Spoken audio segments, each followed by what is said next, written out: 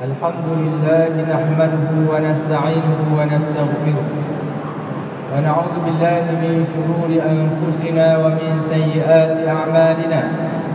من يهده الله فلا مضل له ومن يضلل فلا هادي له. أشهد أن لا إله إلا الله وحده لا شريك له وأشهد أن سيدنا محمدا عبده ورسوله. اللهم صل وسلم وبارك على سيدنا محمد وعلى آله وأصحابه أجمعين. أما بعد فيا عباد الله اتقوا الله. أوصيكم وإياي بتقوى الله. فقد فاز المتقون. Marilah kita bersama-sama meningkatkan ketakwaan kepada Allah Subhanahu wa taala. Dengan melaksanakan segala perintah dan meninggalkan segala larangannya. Mudah-mudahan kita diberkati dan dirahmati Allah Subhanahu wa taala di dunia dan di akhirat. Sidang jemaat yang dirahmati Allah. Tajuk khutbah pada hari ini adalah ajal tidak mengenal usia. Setiap umat Islam mempercayai bahawa kehidupan selepas mati adalah peringkat yang mesti dilalui oleh semua manusia. Ajal tidak mengenal usia sama ada muda atau tua. Walaupun seseorang memiliki kekuasaan, kekayaan dan kesihatan, manusia pasti mati. Malah para nabi dan rasul pun tidak dapat lari daripada kematian. Firman Allah Subhanahu wa taala dalam surah An-Nisa ayat 78. A'udzu billahi minasyaitonir rajim. Aynama takunu yudrikumul maut walau kuntum fi burujin musyayyadah. Yang bermaksud di mana jua kamu berada, kematian akan mendapatkan kamu bila sudah sampai ajal. Sekalipun kamu berada dalam benteng-benteng yang tinggi lagi. Kematian adalah suatu kepastian. Tiada seorang pun boleh lari daripada ajalnya yang telah ditetapkan oleh Allah Subhanahu wa taala. Apabila ajal telah sampai, malaikat Israel tetap akan mencabut nyawanya tidak kira di mana kita berada. Firman Allah Subhanahu wa taala dalam surah Al-Jumuah ayat 8. A'udzubillahi minasyaitonir rajim.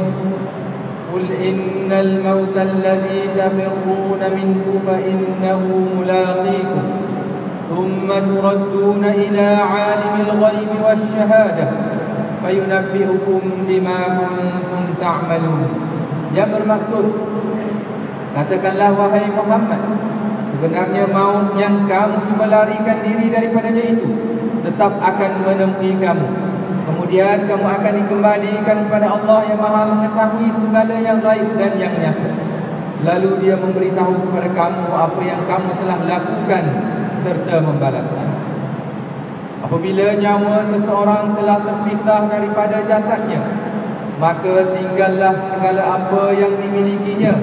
Sama ada ahli keluarga saudara mara dan harta benda. Jasad yang tertuju kaku akan diurus dan dihantar ke kubur untuk dikebumikan. Pada saat itu berpindah berpindahlah dia ke alam barzakh sementara menunggu hari pembalasan di akhirat. Kubur atau alam barzakh adalah sebagai tempat permulaan alam akhirat.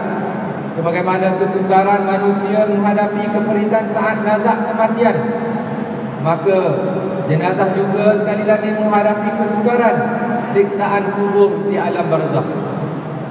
Sebaik sahaja ahli keluarga dan sahabat handai selesai mengebumikannya sedang dia berada dalam suasana yang gelap gelita dalam kubur maka datanglah dua malaikat iaitu Munkar dan Nakir menghampirinya bagi jenazah yang beriman yang berpegalkan amal soleh berada dalam rehat dan damai.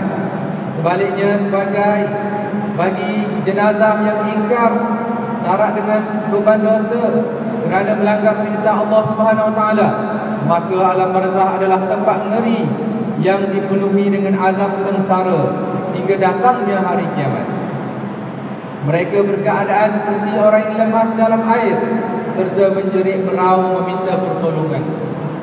Sabda Rasulullah sallallahu alaihi wasallam dalam hadis yang diriwayatkan oleh Imam At-Tirmizi innal qabra awwal manazil al-akhirah fa in naja minhu fama ba'dahu aysar in lam yanjah minhu fama ba'dahu ay ashad minhu.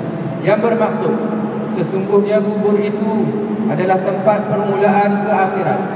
Sekiranya dia terselamat maka mudahlah selepas itu. Dan jika dia tidak selamat maka selepas itu adalah lebih sukar. Mengapa Islam menyuruh umatnya sentiasa mengingati kematian? Kematian adalah suatu kejadian yang pasti dan tidak dapat dielakkan dengan apa cara sekalipun. Namun begitu, mengingati kematian itu bukanlah bermaksud memaksa diri untuk segera mati atau sengaja mendedahkan diri kepada kematian.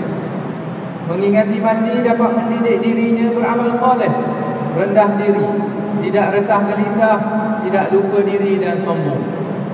Dia juga, dia juga dapat memberi kesedaran bahawa urusan kehidupan dunia merupakan persediaan kehidupan di akhirat yang bakal ditempuhi. Mengingati mati menjadikan seseorang lebih bersedia untuk merancang kehidupan di dunia untuk akhiratnya. Sidang Jumaat yang dirahmati Allah Subhanahu wa taala.